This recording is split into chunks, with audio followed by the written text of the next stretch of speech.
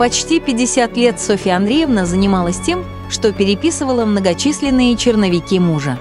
Сейчас два часа ночи, я все переписывала. Ужасно скучная и тяжелая работа, потому что, наверное, то, что написано мною сегодня, завтра все перечеркнется и будет переписано Львом Николаевичем вновь. Какое у него терпение и трудолюбие, это поразительно.